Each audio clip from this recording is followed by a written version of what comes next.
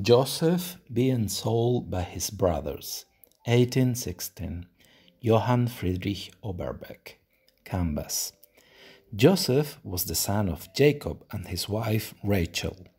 Favored by his father, and if, and if his own dreams were to be believed, destined for greatness, Joseph was envied and disliked by his older half brothers.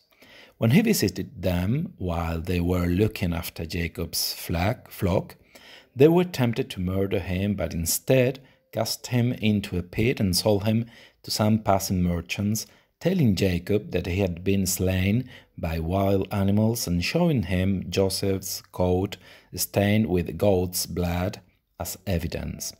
Meanwhile, the merchants sold Joseph to the Egyptian Potiphar, the captain of Pharaoh's guard. After various vicissitudes, Joseph became the most powerful man in Egypt and brought his entire family to live there.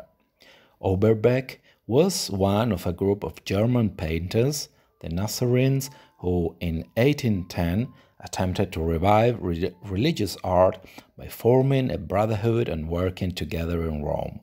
Among others, they influenced the British Pre Raphaelite Brotherhood.